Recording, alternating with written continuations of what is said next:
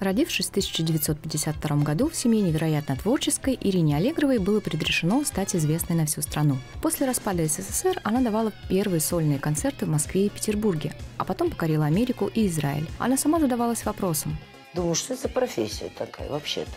Вот меня сейчас, например, бесит, когда все хотят петь. Зачем? Наверное, и мне бы кто-то бы задал этот вопрос в свое время. Зачем? Но, как показало время, у вопроса этого есть простой ответ. Миллионы поклонников России за рубежом, 16 сольных альбомов, три роли в больших кинофильмах. После выхода первого альбома ее популярность приумножилась несколько раз. Странник мой, мой малыш, в этот час тогда полетели награды. Лучшая певица года в 1993 году, овация в 1994, множество золотых граммофонов, именная звезда на площади звезд. Сейчас их 30, в том числе звание заслуженной артистки Российской Федерации в 2002 году и народный в 2010 году. Присвоены почетные звания.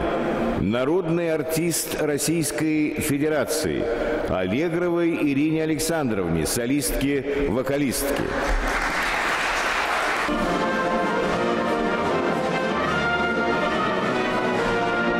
Личная жизнь Ирины Аллегровой, казалось, никак не мешала добиваться карьерных успехов. Когда певица вышла замуж первый раз, ей было 18. Признается, брак был ошибкой. Там один из моих мужей, я понимала, что он меня тянет. Мне хотелось вперед, а меня тянут назад. А меня в этот момент остановить тяжело. В 1972 году пара родилась дочь Лала. Она всегда помогала Ирине за кадром, но на сцену не хотела.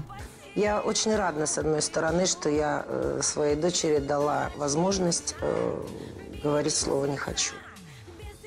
Она может себе это позволить сейчас. Так или иначе, Ирина Аллегрова – певица, которую знают не только в России, и человек, который построил карьеру на всеобщем признании.